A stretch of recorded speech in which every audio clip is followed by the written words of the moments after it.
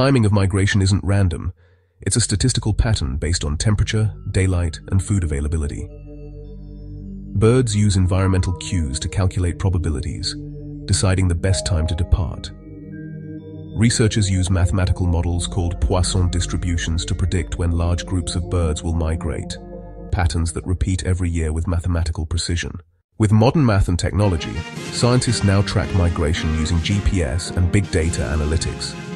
Every bird tagged adds to a vast dataset, helping scientists identify trends, population changes, and even the impact of climate change.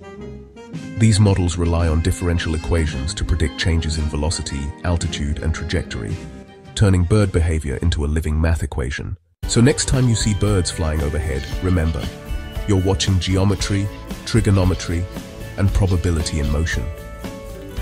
Math isn't just on paper, it's in the sky, guiding creatures on journeys thousands of miles long.